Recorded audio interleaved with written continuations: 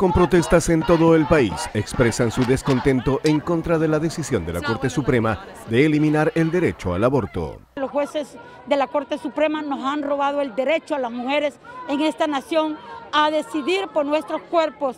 Esto va a afectar mucho a nuestra comunidad latina. Defensores del derecho a decidir argumentan que la Corte fue mucho más allá que solo prohibir el aborto. Sería más difícil para las mujeres acceder a servicios preventivos, ya sea papanicolaos, eh, exámenes como eh, la examinación ah, de mama, eh, todos estos servicios que son críticos para evitar las enfermedades entre las mujeres hispanas. Manifestantes pro vida continúan celebrando la decisión que elimina Roe versus Wade después de casi 50 años de vigencia.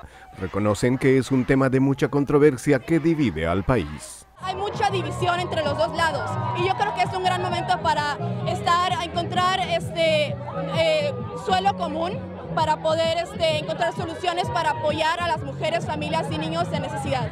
Se espera que la mitad de estados prohíban o restrinjan severamente el aborto, especialmente en aquellos con gobiernos conservadores. Sin embargo, estados liberales aún permiten su práctica.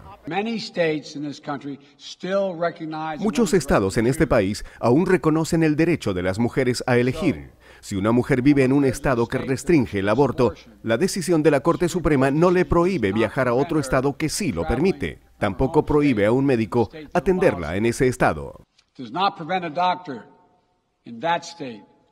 Muchos ya apuestan a una fórmula legislativa para codificar el aborto en ley federal y trabajan con miras a las próximas elecciones legislativas. Lo cierto es que para muchos la decisión de la Corte Suprema marca un antes y un después en la historia de Estados Unidos. Hoy la Corte Suprema ha decidido retornar a esos tiempos antiguos donde el derecho de la mujer no se respetaba. Entonces es muy triste y lamentablemente estamos volviendo a los años en donde no teníamos estos derechos. Desde Washington, Alfredo Miranda, Conexión Migrante.